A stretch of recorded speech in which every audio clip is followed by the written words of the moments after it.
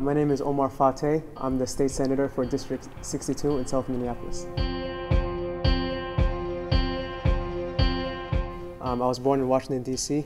and raised in Virginia. Um, and on, on, the campaign trail and along with my colleagues, I've been telling them that I'm growing up in an immigrant household, but within the American culture, which is a melting pot of ideas, uh, thoughts, religions, and, so on. Um, I think I was best to bridge the gap between the new immigrants as well as uh, the folks that uh, have been here. I, Omar Fateh, do solemnly swear to support the Constitution of the United States. I'm blessed to represent uh, a very diverse district uh, in South Minneapolis. Um, it's a lot of working class folks. These are folks that have been really hit really hard uh, this past year with the uh, George Floyd murder, the uprising that followed, uh, but as well as COVID-19, uh, which impacted all of us. I regularly go to Lake Street, which are mostly Latino-owned businesses, and I've made that connection with them to help them um, understand what resources are out there in COVID and in general. I've built a relationship with folks in Little Earth um, to understand indigenous issues, but also what they want to prioritize in the upcoming sessions. When we speak to them, uh, we make sure that we understand that they're not a monolith, right? So if you go into Little Earth, you don't assume that everybody has the same idea or thought process. That's not. That's just not how it is. Um, so I was fortunate enough to form uh, committees within these different communities um, so that they can help educate me, but also I take their ideas back to the legislature with me um, to turn it into action and into bills. So a lot of the bills that we come up with are actually uh, constituent uh, run and ideas uh, that uh, we brought with us in these meetings.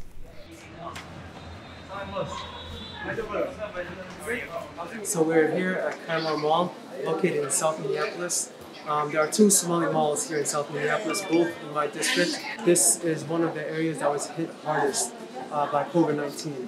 Uh, for the first few months uh, during the pandemic, uh, people really struggled. We had businesses here shut down, uh, but they rebounded. They came back.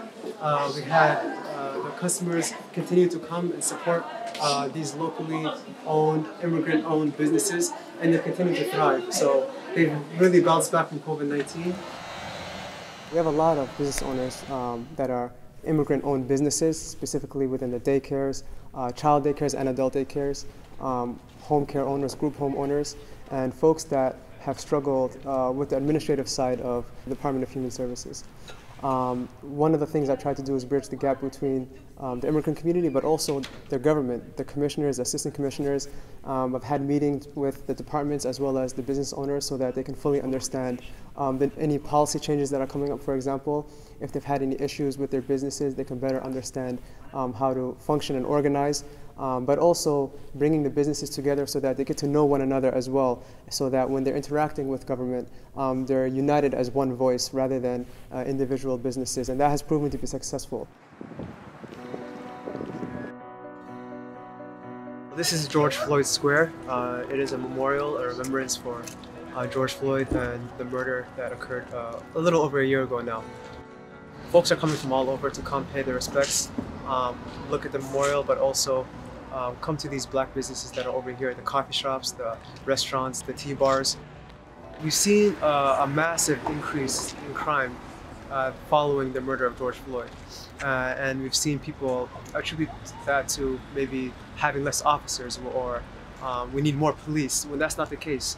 Um, we have to remember that because of COVID, uh, people, a lot of people lost work. Uh, a lot of people went on unemployment. A lot of people uh, were struggling to pay rent. And then couple that with uh, the murder of George Floyd, which was a national murder. People saw uh, an innocent black man getting tortured to death for nine minutes. Um, people took to the streets. They were really upset.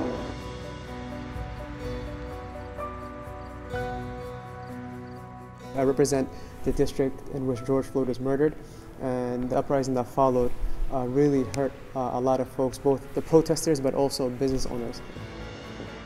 I'm hoping to continue the good work um, that our office as well as our colleagues have done here. Um, so making sure that we prioritize public safety, making sure that we're investing in affordable housing and public housing so that we're not pricing out our, our residents and we're preserving uh, our diversity and making sure that we have a single payer healthcare system that's not tied to employment so that we make sure that healthcare is fundamentally a human right.